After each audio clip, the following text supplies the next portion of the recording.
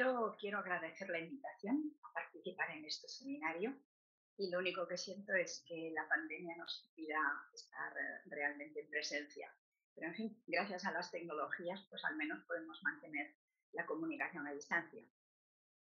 Eh, voy a hablar sobre las políticas de cuidado. El cuidado ha existido siempre,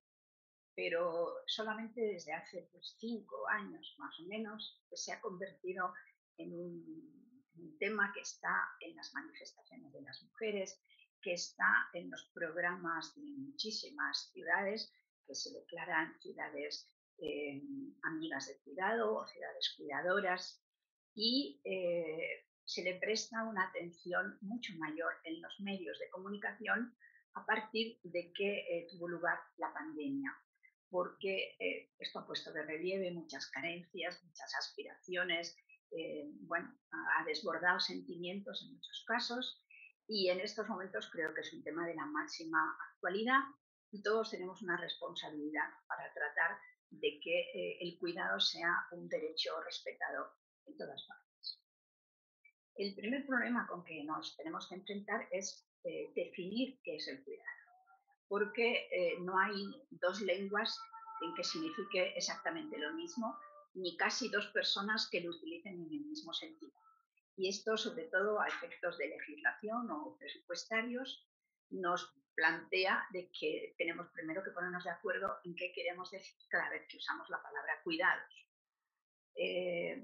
en estos momentos incluso muchas compañías privadas, como por ejemplo compañías de seguros o compañías de, mantenimiento de automóviles, están poniendo en sus eslogans la palabra cuidar. Nosotros te cuidamos, nosotros cuidamos. Bueno, pero ¿qué es cuidar? Eh, el, cuidado, como decía antes, ha existido siempre, pero fundamentalmente era una función que eh, la, satisfacían las familias. Y lo que es nuevo en el cuidado es que por una parte las familias han cambiado mucho. Ahora aquellas familias extensas y relativamente jóvenes en que había muchas personas para, para cuidar porque estaban en las edades centrales, jóvenes de la vida, eh, eso ha desaparecido. Y también esos hogares numerosos en que convivían muchas personas y podían cuidarse unas a otras. Por otra parte, eh, demográficamente, toda la población mundial ha envejecido,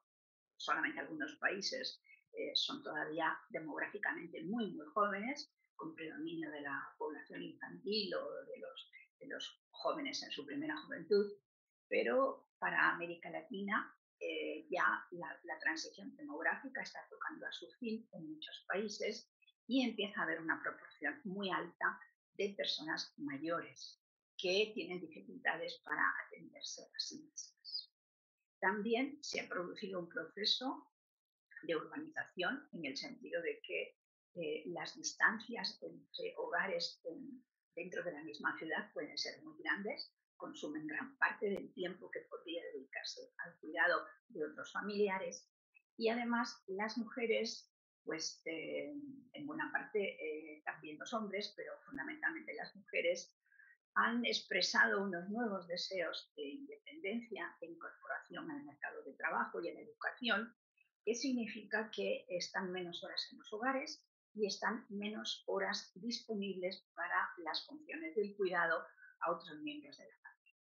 En esto, además, hay eh, una tendencia a que se acentúe porque en casi todos los países, como presupuesto o base para el desarrollo económico, para que haya más riqueza circulando, más, eh, bueno, que lleguen más ingresos a las familias, pues eh, se está contando con que las familias sean multisalariales, o sea, que varios miembros de la familia estén incorporados al mercado de trabajo, lo que deja eh, reducido el número de horas disponibles para el cuidado.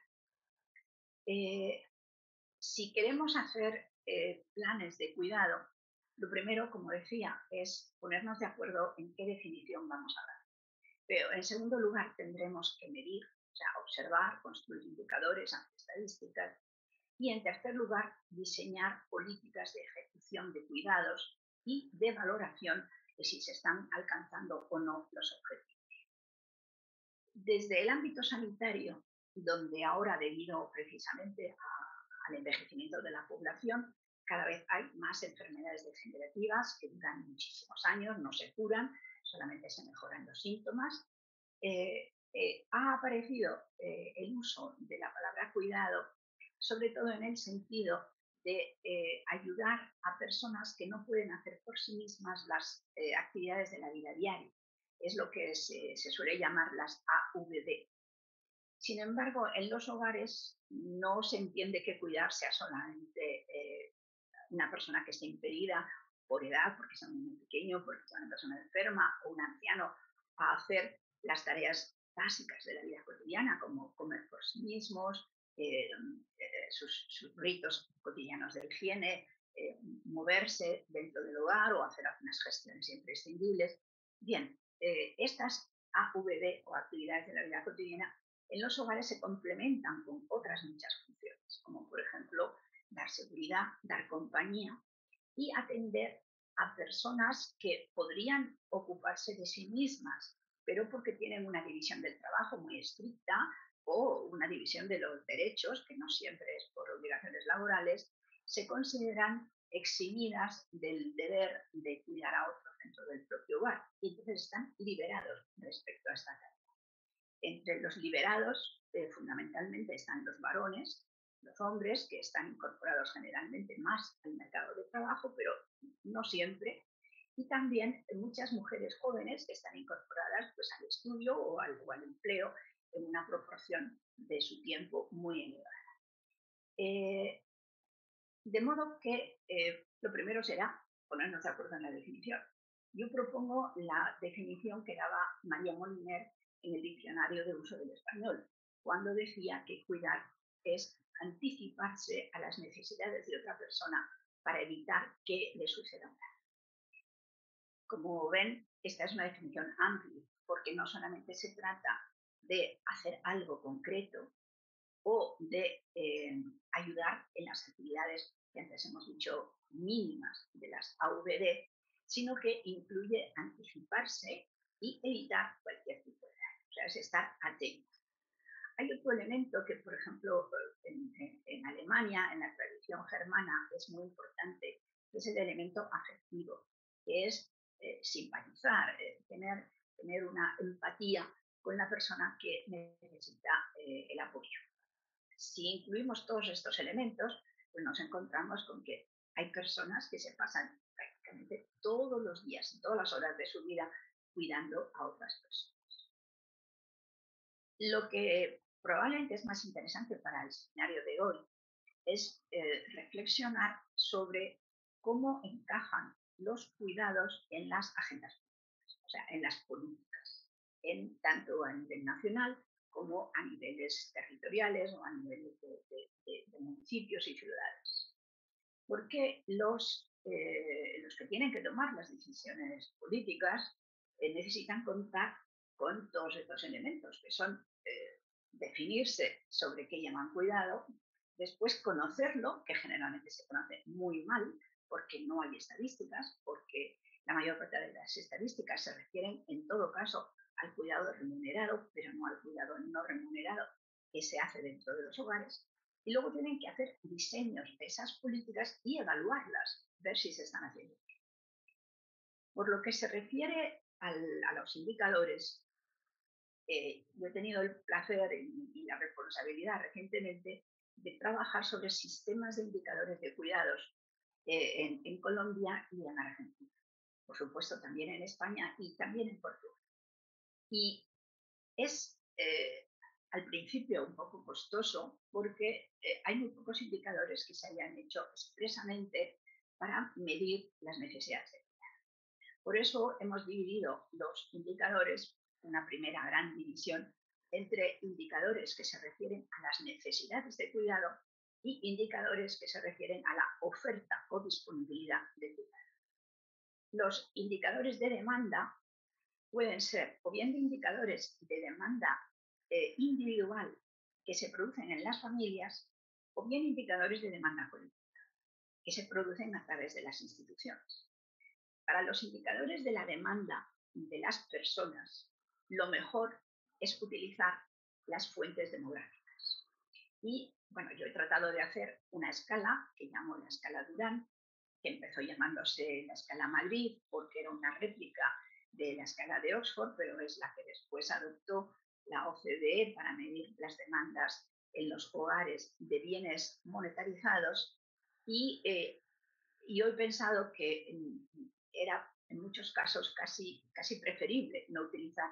las escalas de bienes monetarizados porque en los hogares es más importante el tiempo, o por lo menos tan importante el tiempo como el dinero. Y en algunos tipos de hogares y para algunas personas, sobre todo mujeres, es más importante la pobreza, la escasez, la necesidad de ayuda por la falta de tiempo que por la falta de dinero. Pues esta escala es una escala de, dependencia pues, normal que mide la proporcionalidad entre los sectores de la población que en principio pueden ofrecer cuidados, que con datos de Naciones Unidas básicamente son los de 15 a 64 años, y los otros grupos de la población. La diferencia respecto a una escala simple, una, una ratio simple de dependencia, es que hemos ponderado no solamente la proporcionalidad entre el volumen de personas en uno y otro grupo, sino que le hemos otorgado un peso distinto de necesidad de cuidados a cada grupo de edad de la población, a cada gran grupo de edad, porque al final hay que trabajar con escalas sencillas de aplicar y con fuentes como las de Naciones Unidas que pues estén disponibles gratuitamente y sistemáticamente para todo el mundo. De modo que el peso que les hemos dado es de tres puntos de demanda para la población menor de cuatro años o mayor de 80, de dos puntos para los, mm, digamos, niveles intermedios de envejecimiento y de, infancia, y un solo punto, que es, por así decirlo, el canon, el, el modelo de referencia, para la población que tenga entre 15 y 64 años, es el grupo para el que Naciones Unidas proporciona información para todo el mundo de modo muy fiable. Probablemente en muchos países como Uruguay o como España sería mejor referirnos a la población de 18 a 64, pero si lo queremos comparar con todo el mundo resultaría muy, trabajoso. Por eso hemos aceptado eh, las clasificaciones de Naciones Unidas para la población dependiente. ¿Quién se ocupa fundamentalmente de satisfacer las necesidades de los cuidados? Básicamente las mujeres. Las mujeres eh, son en todo el mundo y lo siguen siendo incluso en los países más, digamos, eh, modernos o modernizados, eh, que son las, probablemente las socialdemocracias escandinavas. pues incluso allí la mujer es quien más se ocupa de producir cuidados para satisfacer la demanda de cuidados de todas sus familias. Pero hay muchas diferencias de país a país y de clase social a clase social, de región a región, incluso de ideología política a ideología política. En algunos eh, contextos, en algunas épocas incluso, se considera que, por ejemplo, el cuidado de los niños debe hacerse básicamente en casa hasta que tienen cinco años mientras que en otros sitios se considera que es un cuidado al que debe aportar mucho la sociedad y por tanto deben organizarse servicios no ya para de 3 a 5 años, sino incluso para antes de los 3 años, de modo que sea casi un ejercicio de libertad de los padres de que los niños estén en casa o que estén en guarderías de buena calidad, atendidas por servicios públicos o por servicios privados. En cuanto a los mayores, también hay enormes diferencias de, país a país. Eh, por ejemplo, dentro de Europa, eh, Suecia entiende que tanto niños como mayores eh, no deben ser una responsabilidad única de las familias inmediatas, pero en cambio en Alemania se entiende que los mayores no deben ser obligatoriamente cuidados por sus hijos y hay servicios públicos que ofrecen cuidado. Eh, en, tanto que los niños sí entienden que deben ser cuidados por los familiares inmediatos y sobre todo por las madres. España tiene una posición intermedia, eh, ha desarrollado bastante los servicios de cuidado infantil y en cambio es mucho más pobre en el cuidado de las personas mayores, donde eh, todavía mm, predomina la idea de que mejor en casa y Hay algo más de 300.000 personas en residencias de mayores, pero no es un porcentaje muy elevado respecto a los más de 9 millones que eh, hay de personas mayores de 65 años. Los sistemas de indicadores, como decía, son por una parte indicadores de demanda y por otra parte indicadores de oferta. Los indicadores de oferta, por una parte, tienen en cuenta la población que por edad o porque no está eh, eh, íntegramente dedicada al mercado de trabajo, tiene eh, potencial para dedicarse a cuidar. Pero también están todos los servicios públicos y los servicios privados. De los servicios privados hay que separar los que son auto, auto como diríamos, trabajadores por cuenta propia y los que son eh, ofertas institucionales. En toda América Latina tienen una enorme importancia los trabajadores asalariados del, eh, del hogar, en otros sitios se llaman empleados de hogar o servicio doméstico, porque eh, aunque entre sus funciones esté casi la más frecuente, la de la limpieza o mantenimiento del hogar, sin embargo desempeñan también muy importantes servicios de cuidado. Y suelen estar en el escalón más bajo del mercado laboral cuanto a salarios, derechos de todo tipo. Es una reivindicación que estos trabajadores mejoren sus condiciones, pero eh, en la estructura económica de, todos los países prácticamente de América Latina se produce, eh, y, sucede igual en Europa, evidentemente, y también en Estados Unidos, prácticamente en todo el mundo, sucede que eh, los, servicios de cuidado se consideran eh, servicios de consumo final. ¿Y qué es esto lo que quiere decir? Quiere decir que, por ejemplo, si se produce en el hogar, vamos a suponer un plátano o una, naranja o, digamos, algo de orfebrería, eso puede venderse en el mercado.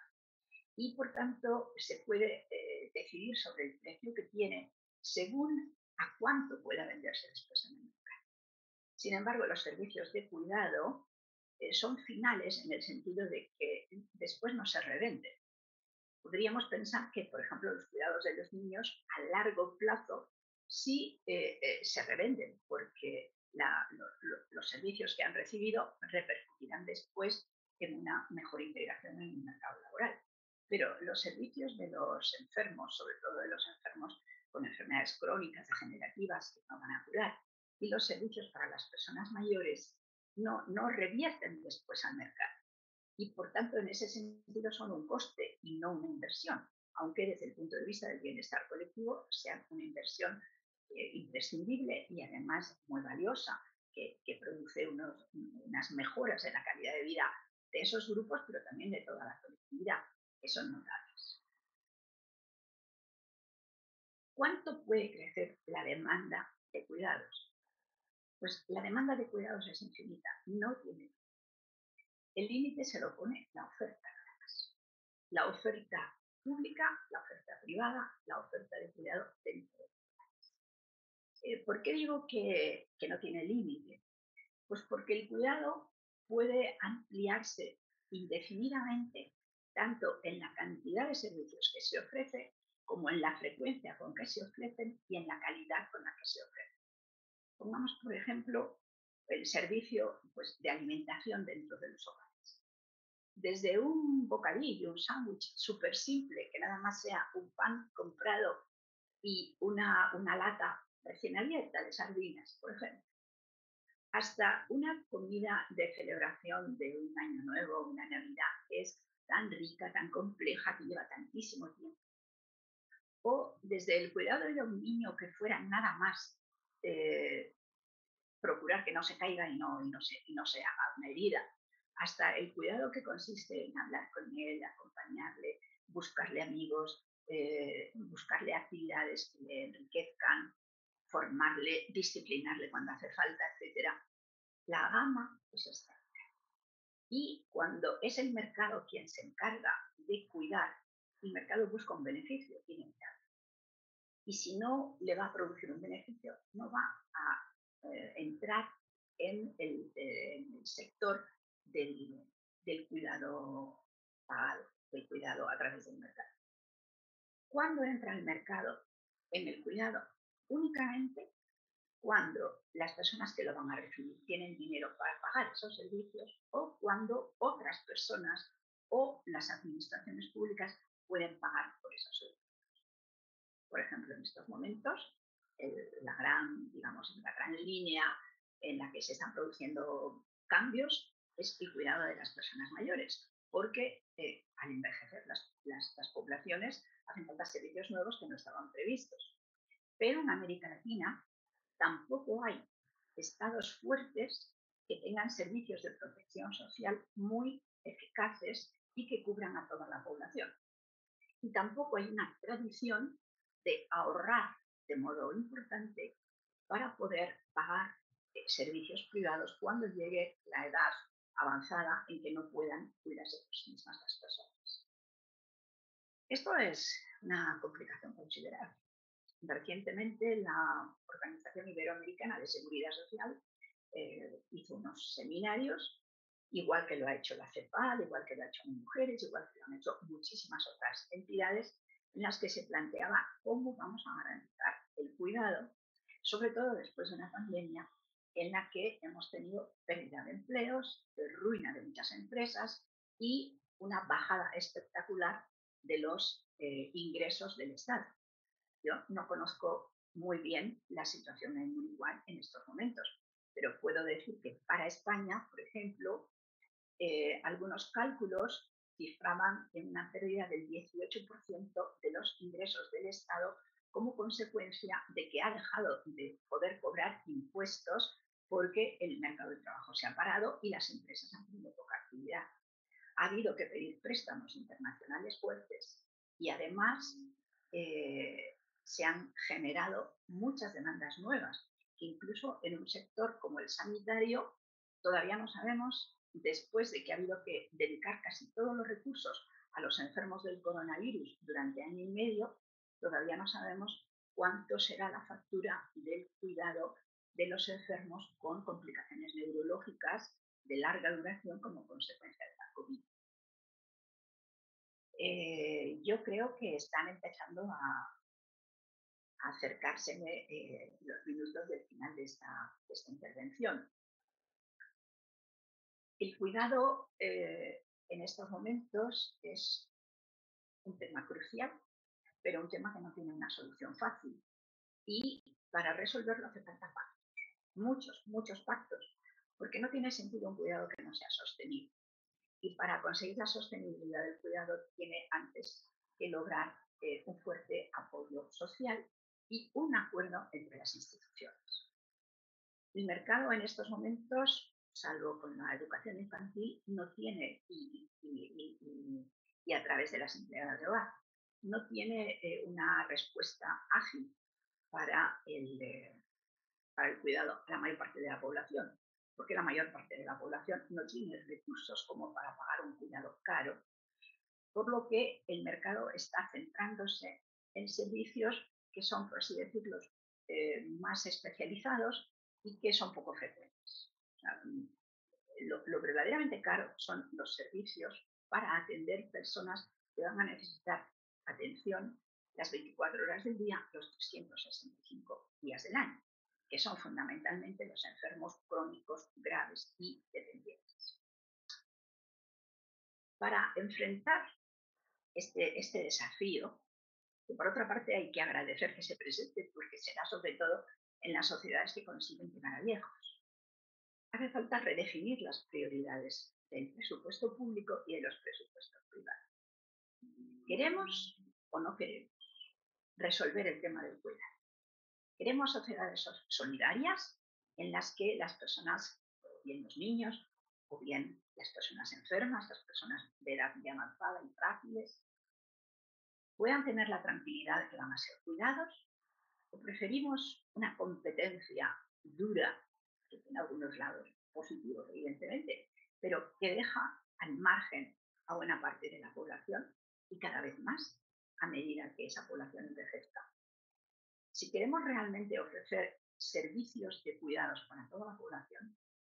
tenemos que diseñar políticas en las que se redistribuya la carga del cuidado dentro de los hogares para que no sean fundamentalmente las mujeres y las niñas en muchos casos quienes se ocupen de satisfacer la demanda de todos los demás, tenemos que empujar a la empresa para que invente, muchas empresas son muy creativas, gracias a eso sobreviven, para que inventen servicios que sean accesibles para la mayor parte de la población y no solamente para las rentas altas. Y, por supuesto, tenemos que pedirles a los representantes políticos, a los gestores de los presupuestos públicos, que ordenen sus prioridades y que nos lo digan con claridad, que no nos eh, cuenten bonitas historias, lo que en nuestra jerga de especialistas llamamos el escaparatismo o el clientelismo, ofreciendo servicios que son sobre todo de palabra, pero que no son eh, realmente eficaces y que no llegan a la mayoría de la población. Afortunadamente, cuando tenemos la posibilidad de votar, pues también tenemos la posibilidad de, decidir, en cierto modo, de hacerle propuestas y exigir que esas propuestas se escuchen a nuestros representantes políticos. Eh, por ahora, eh, los, los, que cuidan y los que necesitan ser cuidados no son un agente político de primera mano. Por eso he diseñado el concepto del cuidatoriado. El cuidatoriado es la clase emergente, eh, cada vez más numerosa y más desvalida, incluso en las sociedades más desarrolladas, pero es algo que está sucediendo en todo el mundo a medida que envejecemos. Pues el cuidatoriado está compuesto, como digo, por las personas cuya función dentro de la estructura productiva es principalmente cuidar. La mayor parte son mujeres, la mayor parte no reciben ningún ingreso ni están cubiertas por la seguridad social, por lo que cuando ellas mismas envejezcan estarán en una situación de pobreza y de dependencia económica muy fuerte. Y también pertenecen a este grupo gran parte de las mujeres inmigrantes que se dedican a cuidar es un colectivo que tiene en conjunto peores derechos que la mayor parte de los asalariados y de los ciudadanos. Las autoridades tienen que decidir en cada país cómo quieren tratar al cuidador. Pueden eh, reconocerle que es un actor potencialmente político de primera magnitud. Pueden reconocer que la prosperidad y el bienestar de todos los demás está basado en que existan las personas que cuidan, tienen que reconocer que estas personas que cuidan no solo lo hacen por afecto, que la mayoría lo hacen por afecto, sino que también tienen unas necesidades materiales y de apoyo y de reconocimiento social que por ahora están muy mal cubiertas. En fin, eh, tienen que saber si quieren favorecer que el, el mm, se convierta en un interlocutor válido o prefieren disgregarlo con pequeñas recompensas en múltiples asociaciones con poca capacidad de reacción, de liderazgo, de convocatoria, incluso, si hiciera falta, de confrontación respecto a quienes eh, no favorezcan eh, este reconocimiento de los derechos, tanto de los eh, cuidados como de los cuidadores. A mí me gustaría, evidentemente, que el cuidatoriado gane la fuerza que necesita para representar a aquellos que no podrán en el mercado conseguir los cuidados que necesitan. Pero esto requiere que haya liderazgos, requiere compromisos, requiere pactos y lo único que puedo mm, desear a, quienes participan en este seminario es que eh, logren esos compromisos, esos pactos y esos liderazgos, porque de lo contrario son el punto débil por el que quiebra la estructura y no hay por qué prever que por inercia la situación tanto de quienes necesitan como de quienes ofrecen cuidados vayan a mejorar en los próximos años. Solo mejorará su situación una voluntad decidida y eficiente por parte de quienes rigen eh, cada país, cada, cada ciudad, incluso cada barrio, de ofrecer estos cuidados, que a mi modo de ver son parte de la calidad de la vida cotidiana. Y nada más. Muchas gracias.